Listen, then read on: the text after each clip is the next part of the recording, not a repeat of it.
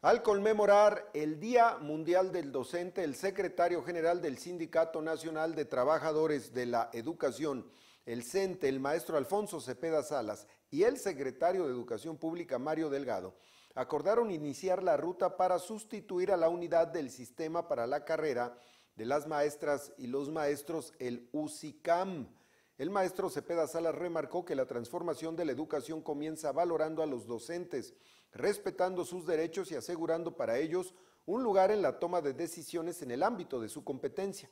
Pidió a la sociedad reconocer la vocación de servicio, la capacitación permanente y el profesionalismo del magisterio mexicano.